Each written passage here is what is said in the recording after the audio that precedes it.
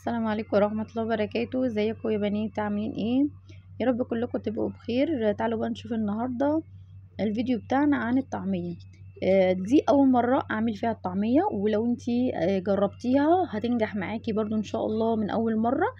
آه، شايفة جمالها وحلاوتها. طبعا دوت أنا عاملاها للتفريز ودي تاني مرة أنا عملتها فيها طبعا عشان نجحت معايا. أنا مبسوطة جدا إن هي نجحت معايا لأن أنا الصراحة الطعمية آه، يعني خلاص جابت لي عقدة ومن الزيت وكده والكلام ده اللي بشتريها من بره من الشارع فأول ما عملتها في البيت آه، بصراحة كانت تحفة. والأحلى والأجمل بقى في ما في الموضوع ان القلي بتاع الزيت مش هيبقى زي بره بقى يعني مستخدم الزيت بتاعه بقاله شهور طبعا كلنا عارفين الكلام ده. فبتبقى شاربة زيت كتير جدا وطبعا بتتعب معدتنا وبتطلع على المريء والكلام ده. طعمها حلو جدا جدا زيها زي بتاعت بره بالظبط.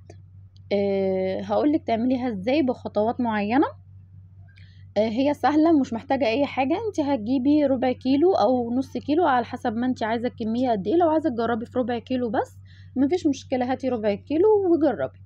هاتي معاها بقى بصلاية وهاتي شوية من الثوم المفروم أو آه، أو اتنين تلاتة كده من الثوم وفرميهم. آه، أو كده كده هتحطيهم في الكبة وهيتفرموا يعني. آه، هتجيبي من آه، البقدونس والكزبرة مش الحزمة كلها. أنا خدت بس يعني آه، حبة كده صغيرة من دي ومن دي وهبدأ إن أنا أحط معاهم الفول المدشوش ده وبالكبة كده زي ما أنت شايفة آه، أنا بس بعمل الحركة دي علشان خاطر آه، الفول يعني ما أقعدش كل شوية أفتح عليها وأنزله وكده لا أنا بميلها وبتبدأ إن هي تفرم الحتة اللي أنا واقفة عندها فاهماني؟ آه، بس بس كده هو ده كل حاجة. آه، طبعا أنا بعد ما بخلص خالص خالص هحط عليها البهارات بتاعتي هقولك برضو عليها لما تيجي المقطع بتاعها. هو كل اللي موجود إن أنت هتشتري نص كيلو أو ربع كيلو من الفول مدشوش هتاخدي من الحزمة بتاعة البقدونس والكزبرة يعني مش كلها يعني خدي بتاع ربعها كمان هيخلي برضو شكلها حلو وجميل وخضرة كده معاكي وتحفة بجد. وبصلاية و يعني أقل من معلقة صغيرة أو أقل من نص معلقة صغيرة من الثوم المفروم. انت بقى لو حابة الثوم يعني أنا مش بحب يعني الثوم يبقى باين قوي فأنا حطيت شوية صغيرة جدا. طبعا آه، الكبة عندي عايزة بقى تعمليها آه، حبة بحبة. آه، أنا الأول طبعا شفت طرق كتير جدا بيعملوها إزاي وكده. فكانوا بيزودوا فيها ميه كتير جدا جدا يعني لدرجة إن هم بعد كده بيرجعوا يصفوها وبعدين يبدأوا يحطوا آه، الكمية اللي بعدها. فطبعا أنا ما حبيتش كده أنا قلت أنا هعملها حبة حبة وطبعا الطريقة دي أحلى بكتير بكتير بكتير من أي حاجة آه، تشوفيها آه، من أي فيديوهات تانية. آه، هتجيبي بس نص كوباية نص كوباية آه، على المقدار اللي أنا حطيته ده. يعني كمان كان قد ربع آه، مقدار بتاع آه، الكبة تمام؟ وهتحط عليهم نص كوباية من آه، المية وهتبدأي إن انت تفرميها. مش هتحتاجي إن انت يعني بس يا دوب كده بنمشي الكبة عليها يعني شايفة هي أصلا يعني شكلها بجد يعني ما شاء الله ما شاء الله تبارك الله طلع معايا حلو قوي وعجبت مامتي وعجبت إخواتي وحتى فرست لهم هم كمان. هي مش مش متعبة ومش غالية وبجد بجد أحسن بكتير من بره صحيا وماديا يعني من الاتنين. إحنا طبعا بنحب إن إحنا نعمل الحاجة في البيت علشان خاطر بتبقى أوفر وبتبقى أحسن آه، بتبقى آه، نضيفة بتبقى لو حاجة معمولة بزيت زي كده آه، صدقيني بجد الزيت بتاعك هيبقى طبعا نضيف مش مستعمل بقاله شهر ولا شهرين أو ثلاثة بجد يعني من كل من كل الاتجاهات بجد تحفة. وزي ما انت شايفة كده بصي. وعايزة أقولك برضو حاجة في آخر الفيديو مهمة جدا لما تبقي لو فرستيها وطلعتيها تعملي إيه. آه هقولك برضو إن شاء الله قبل ما الفيديو يخلص. آه، بس هي بجد يعني جميلة بجد. انت ممكن تفرميها على مرتين أو على حسب الكبة بتاعتك لو شديدة أو كده. إحنا هنا نبدأ بقى نحط الملح والفلفل والبهارات. لو مش حابة تحطي الملح دلوقتي حطيه بعد ما تطلعيها من الفريزر.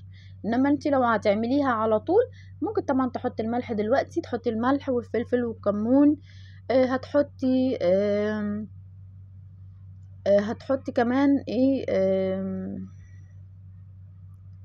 الكزبرة اللي هي آه، ال powder تمام؟ ما تحطيش بقى ولا توم powder ولا بصل powder ولا الحاجات دي كلها خالص لا هما كده بس.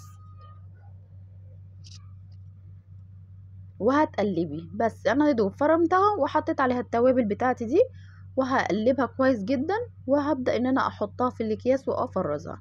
أول بقى ما بتيجي آه خلاص بتمسك معاكي وهتبدأ إن هي آه أول ما تطلعيها طبعا هيبقى فيها مية. آه ما تصفيش المية اللي فيها جامد يعني يا دوب بس طلعي منها مية حبة صغيرين جدا وخلي فيها مية. ليه بقى؟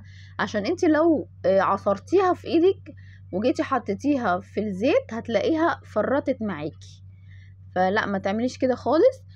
يعني تخلي جواها مية ما تخافيش المية دي مش هتبوظها أو هتطلع شكلها وحش أو هتطلعها نيه لأ انت لما تيجي تقليها تقليها على نار متوسطة وهتبقى معاكي زي الفل. زي ما انت شايفة كده وهجيب لك برضو المقطع تاني اللي هو بعد القلي. آه، أنا كده خلاص بصي قلت طبعا لازم إن أنا أوريكم آه، يعني أقليها قدامكم وأوريكي إزاي طلعت معايا. بجد مقرمشة جدا من بره ومستوية طبعا من جوه الحمد لله ما شاء الله وطالعة طعمها بقى تحفة. عايزة أقولك إن أنا لما أكلتها من هنا يعني ما حسيتش إن هي أصلا معمولة في زيت بجد والله والله. آه غير آه غير كده خالص حتى كمان جوزي برضو ما بيحبش ياكل الطعمية من بره علشان خاطر الزيت ده برضو بيتعب معدته. لكن أنا لما عملتها طبعا في البيت زي ما أنت شايفة كده الزيت بتاعك هيبقى نظيف مفهوش أي شوائب آه، مش قديم.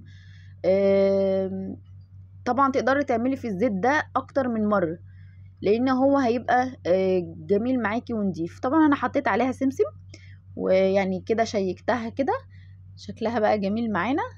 السمسم برضو بيدي كده شكل حلو ولو حابة كمان تحطي كمان كزبره زي ما هو ما بيحط كده برضو بره آه، كزبره وسمسم مفيش أي مشكلة معاكي.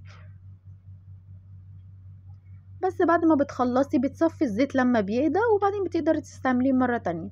بس ما شاء الله ما شاء الله ما شاء الله طالعة جميلة جدا أنا حبيتها جدا.